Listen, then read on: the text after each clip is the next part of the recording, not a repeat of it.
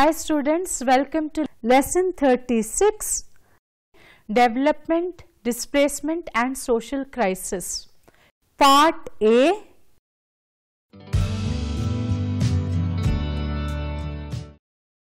The various development projects which are essential to attain infrastructural development and economic growth has serious impact on entire environment including flora, fauna, landscapes, river systems, water quality and shorelines. The large scale deforestation due to mining and establishment of industries has resulted in climate change and inconsistent weathers. Big dams submerge huge area of forest cover causing irreversible loss to varieties of flora and fauna besides the land area.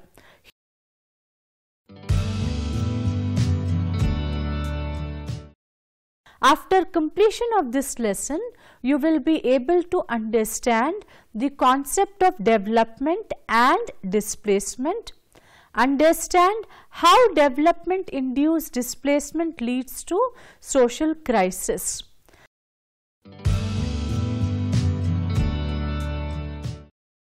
Let us first discuss the concept of development. In simplest sense, development is growth plus change. Development is a procedure of arranged institutional change to achieve better adjustment between human needs and goals at one side and social plans and projects on other side. It is translating economic progress into better living conditions for people in society. It is fighting against poverty, illiteracy, ignorance, inequality, irrationality and oppression prevalent in society.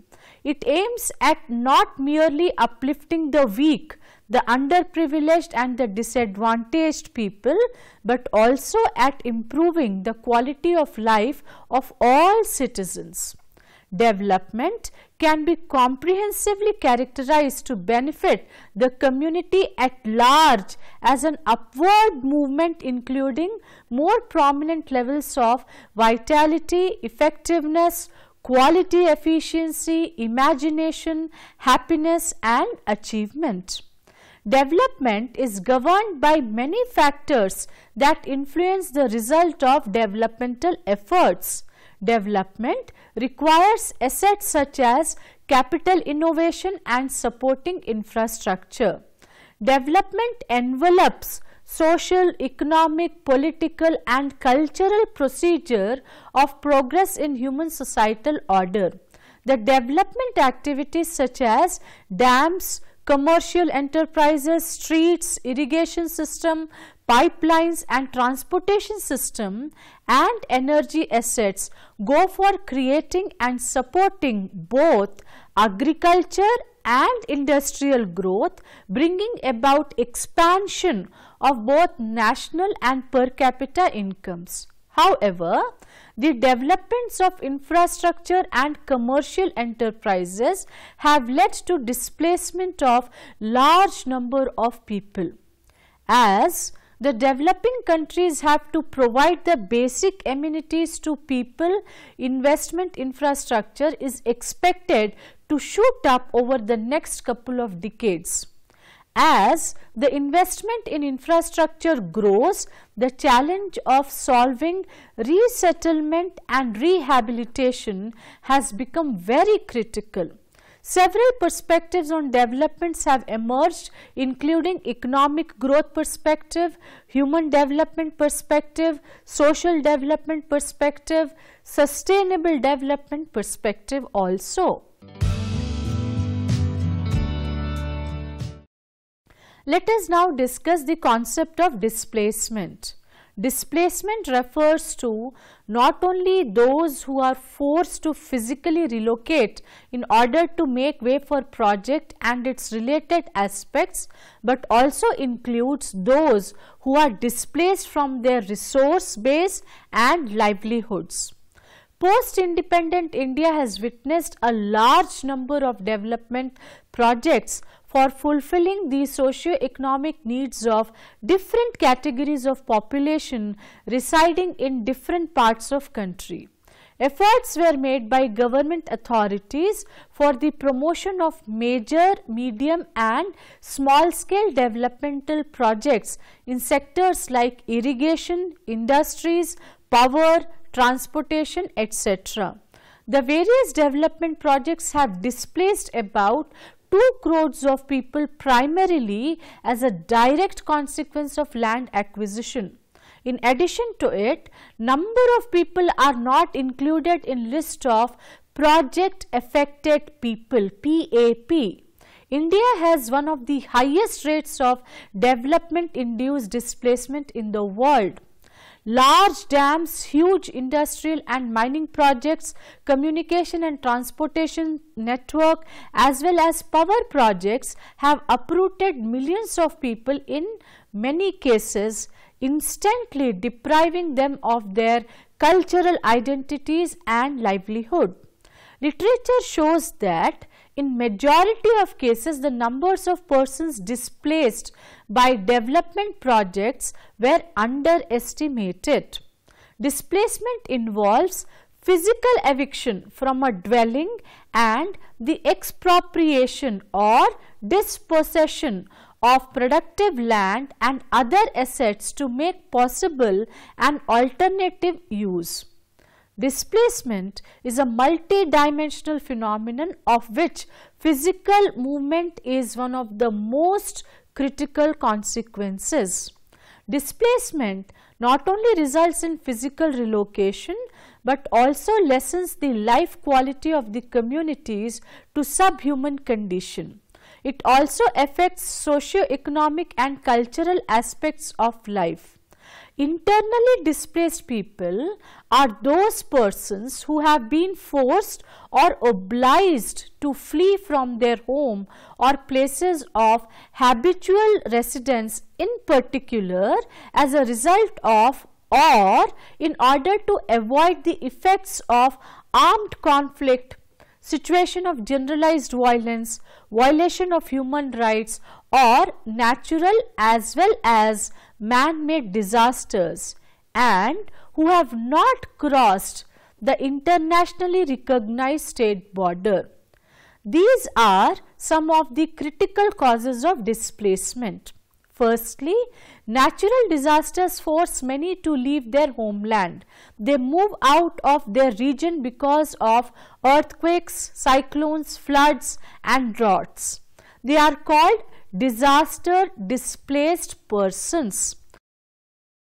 Secondly, people get displaced because of the man-made disasters like gas disaster in Bhopal for example, migrants from India to Pakistan and vice versa during partition in 1947. Thirdly, people get displaced from their habitats due to wars, civil unrest and social conflicts. They become refugees.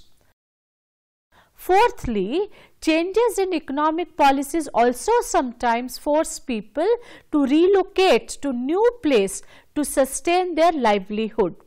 In recent decades, lakhs of traditional fishing families, millions of tribals and Dalits have been rendered jobless due to certain reconstruction on economic activities. Fifthly, majority of people in India are displaced because of construction of large dams, mines, highways, metros as well due to process of urbanization. Land is also acquired for the development of industrial, educational and other infrastructure projects. With the globalization, Lots of development activities are planned for the beautification and development of cities and rural communities. The problem of displacement is not merely economic, it is also a socio-cultural problem. It disturbs the entire social network relationships and thus disturbs a particular way of life. It also affects the traditional activities and an already established social order.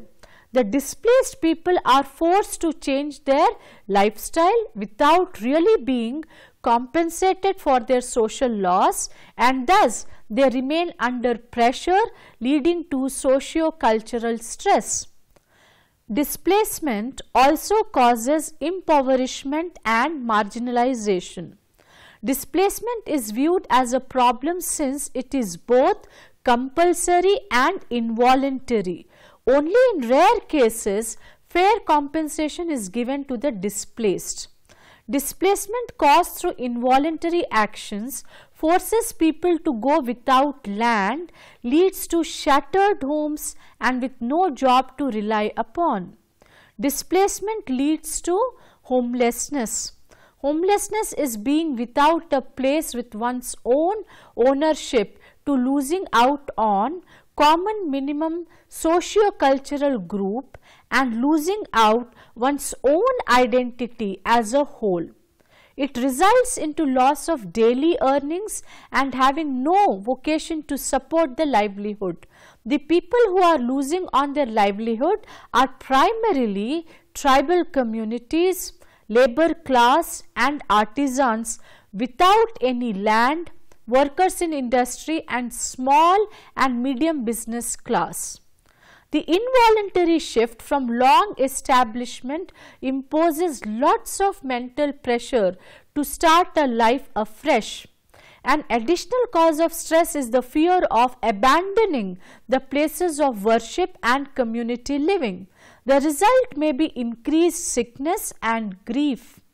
The emotional stress is aggravated by feeling of the helplessness as no amount of arguments, plea or revolt can prevent the inevitable forced displacement.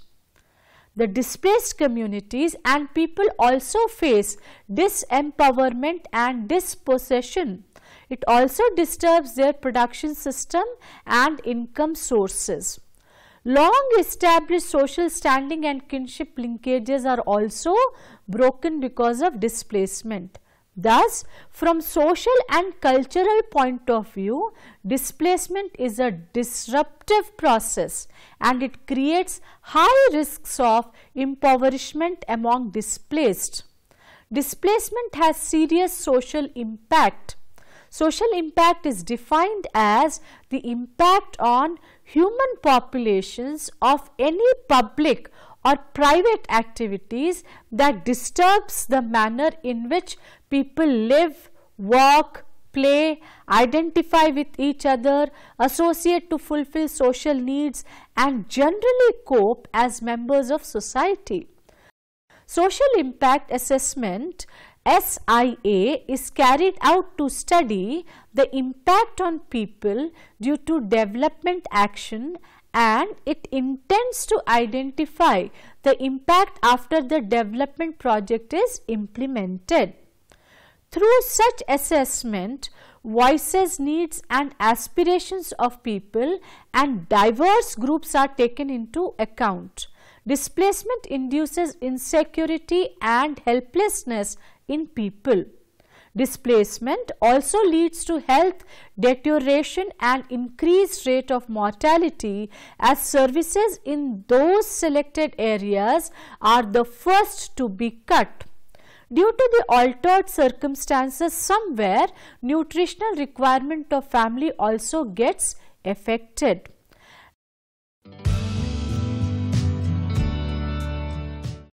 Let us now talk about development induced displacement. One can witness a paradigm shift in 1950s and 1960s from simple and traditional Indian society to modern and complex one. Technological, capital intensive and large scale development projects accelerated the growth in economy of Indian society. It was then followed by a new development paradigm which promotes poverty reduction, environmental protection, social justice and human rights. but such development not only brings benefit, rather it imposes cost on some sections of the society.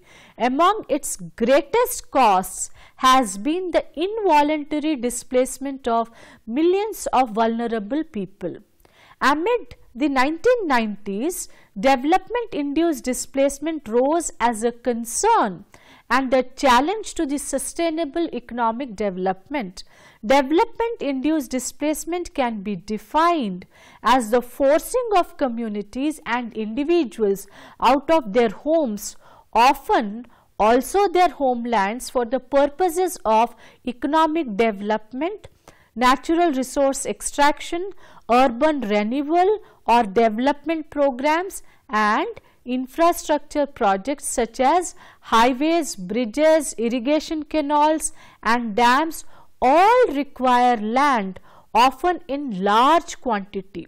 One common consequence of such projects is the upheaval and displacement of communities. It is estimated that 10 million people were displaced annually by these so called developmental activities. Forest resources, river systems and mineral base were most alluring zones for the development activities. Tribal and backward areas were focus of their earlier developmental projects.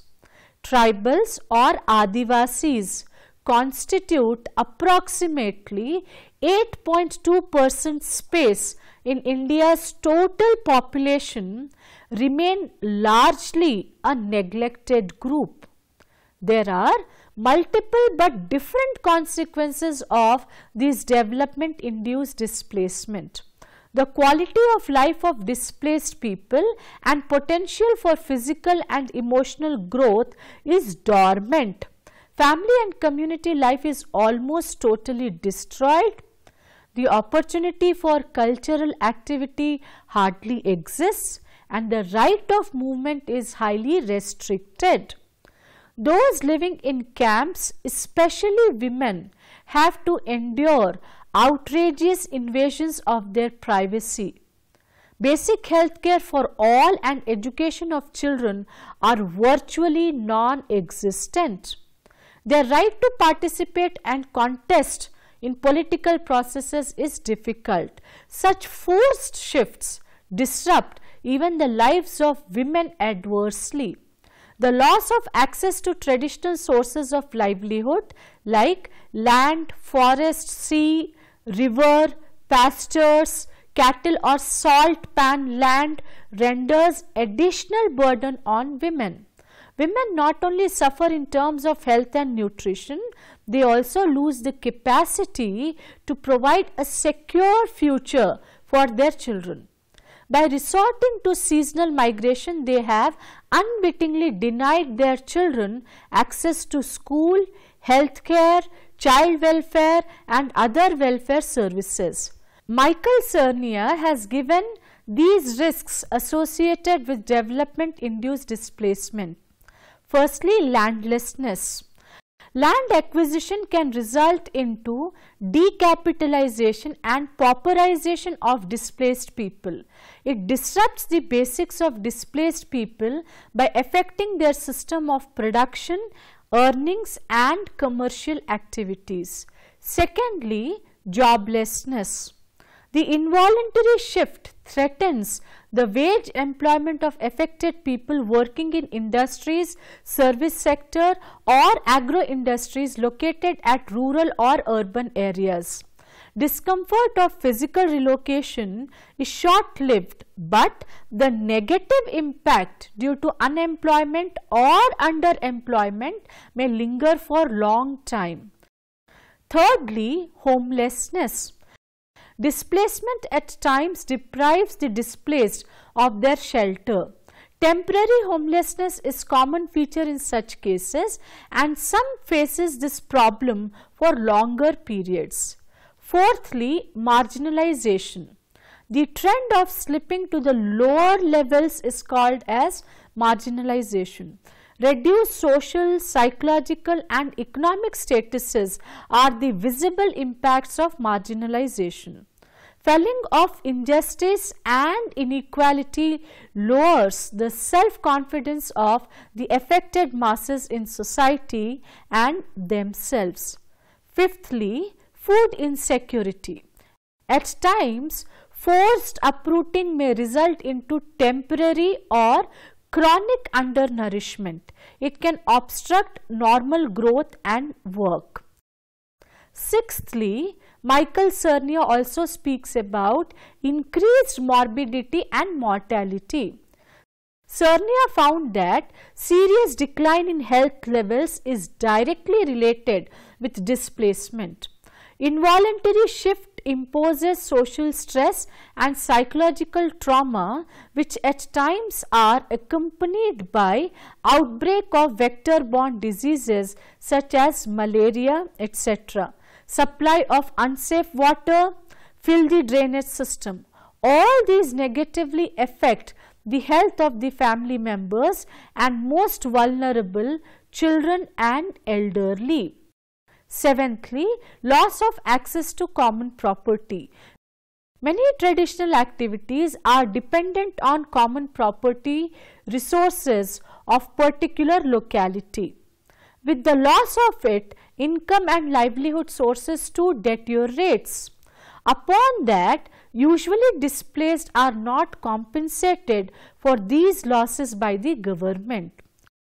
Eighthly, social disarticulation. Involuntary relocation ends up into number of social changes at individual, family and community levels the fragmentation of families, scattering of kinship network, uprooting of communities and dismantling of social and interpersonal ties are some of the major social changes associated with the involuntary displacement and relocation. It disperses informal life supporting the social network.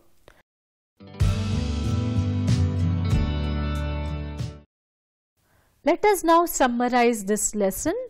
The various development projects have displaced about 2 crores of people primarily as a direct consequence of land acquisition. In addition to it, number of people are not included in list of project affected people.